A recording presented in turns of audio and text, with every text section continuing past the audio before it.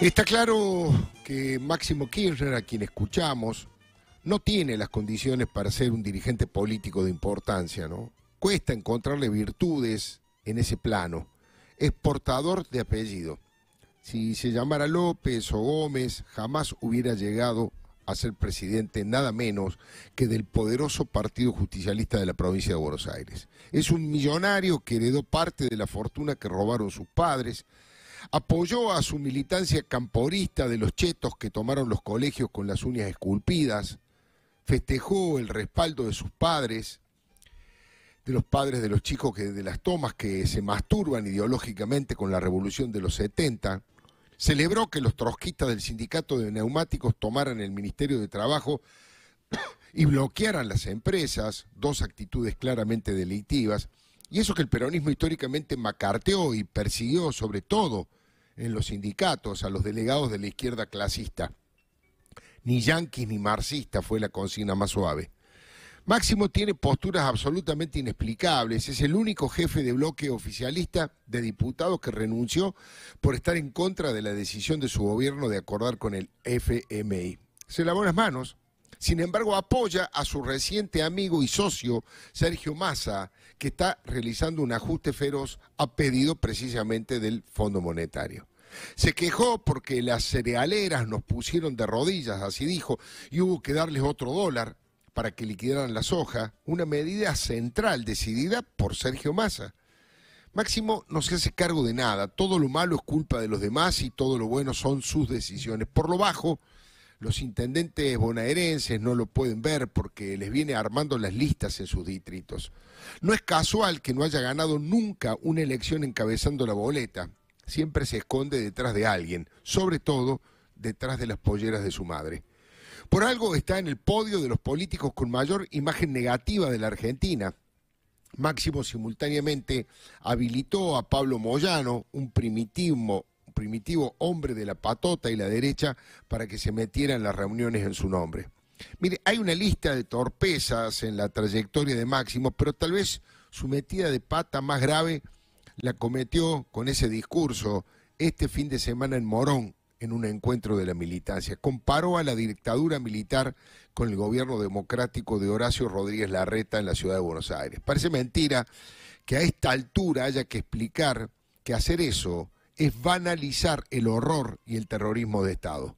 Los jóvenes que no sufrieron esa época deberían informarse con libros y crónicas para no dejarse engañar ni comprar semejante mentira que desarticula todo tipo de análisis racional.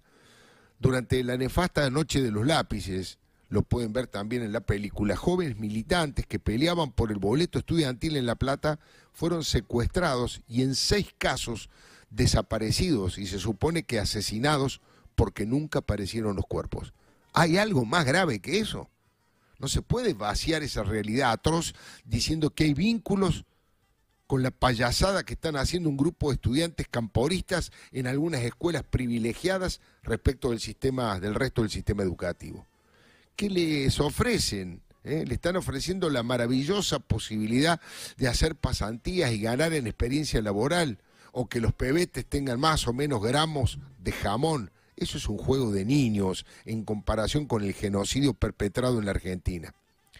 Jorge Rafael Videla y Emilio Eduardo Macera, entre otros, fueron condenados a cadena perpetua por sus crímenes de lesa humanidad. Horacio Rodríguez Larrete y Soledad Acuña pelean para que los chicos no pierdan ni una hora de clase y denuncian ante la justicia democrática como corresponde a los padres por la toma de un edificio público.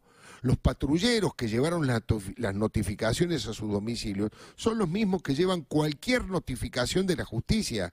No hubo un solo estudiante golpeado ni reprimido. ¿Cómo Máximo puede comparar eso con miles de desaparecidos, torturados, asesinados en campos de concentración? Insisto con el tema, no se puede banalizar a la dictadura más cruel y feroz que padecimos los argentinos. Tal vez Máximo piense que la dictadura fue la inacción de sus padres abogados y militantes que no hicieron absolutamente nada en esa época. Solo enriquecerse con una ley de la dictadura para quedarse con las casas de mucha gente que no pudo pagar sus créditos. Tal vez por eso piensa que aquella época es asimilable a la tranquilidad con que se puede activar hoy en cualquier partido político. pero sus padres son la medida de la claudicación y la malversación en este tema. Que le pregunte a abogados radicales o a peronistas como Rafael Flores, que sí tuvieron el coraje de presentar habeas corpus y de buscar a los desaparecidos. Eso no tiene nada que ver con reclamar por un mejor pebete para la vianda. Su discurso estuvo repleto de mentiras. Acusó a Rodríguez A de bajar la mirada ante Macri, que lo maltrata y lo deja sin dignidad, y eso es justamente lo que ocurre con Alberto frente a Cristina. Otra falsedad fue afirmar que al jefe de gobierno de la ciudad le gustan los jóvenes que andan con guillotinas y antorchas y quieren matar al otro. Mire, no hay una sola declaración, ni un solo dato de que eso que dijo Máximo define la postura de la reta. Todo lo contrario, parece ser una expresión de deseo. Es lo que a Máximo le gustaría que la reta sea, pero no es así. Chicanas y mamarrachos que lo empujan a convertirse en un dirigente de muy bajo impacto, pero nada más grave. Nada más grave que comparar los crímenes de lesa humanidad con pavadas administrativas en democracia. Máximo debería saber que eso no hace heroica las tomas de los colegios secundarios todo lo contrario, vacía de contenido el terrorismo de Estado. Y eso sí es muy grave, tan grave como la utilización de los derechos humanos que hicieron sus padres.